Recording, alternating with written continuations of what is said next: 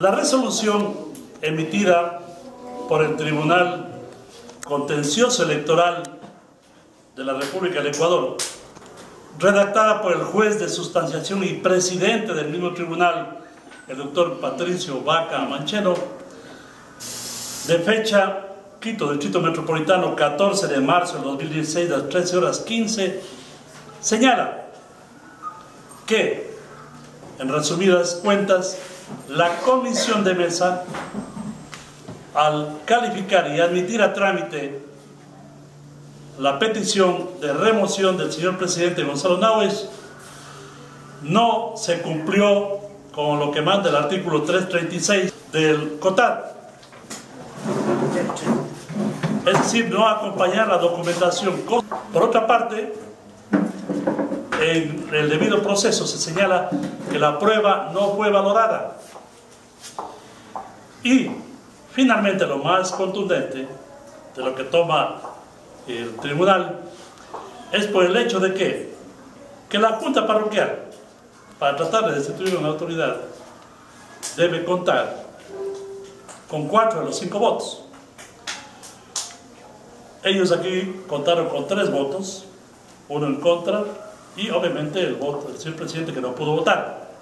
La Junta y la comisión, la comisión de mesa del gobierno parroquial violó el debido proceso, violó el 336 del COTAD.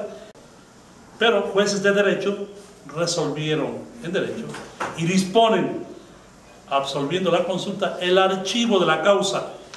Y el presidente continúe sus funciones cumpliendo el mandato popular por el que fue elegido.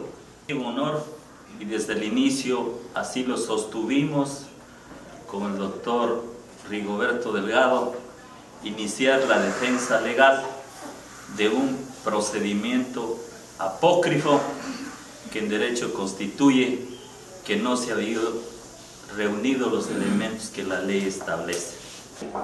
El proceso desde el inicio fue viciado.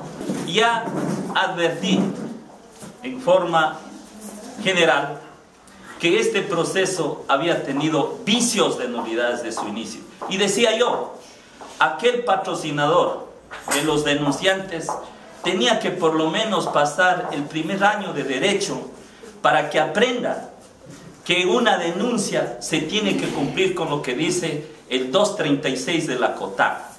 Una denuncia de esta naturaleza tenía que estar acompañada de sus documentos para sustentar esa irregularidad. Y concretamente, ¿qué decía? Que Gonzalo no había regulado la ordenanza para la participación ciudadana, cuando ellos, como colegisladores, jamás legislaron para que ustedes participen en una reunión como la que están haciendo. Eso se llama eh, prácticamente negligencia. ¿Y cómo pueden ser ellos, señores juez y parte? Qué pena, qué pena, porque el gobierno parroquial, el GAR, tiene cosas muy importantes como atender a su propio pueblo sus necesidades y tuvo que perder el tiempo tratando de mostrar la inocencia de Gonzalo Náuez.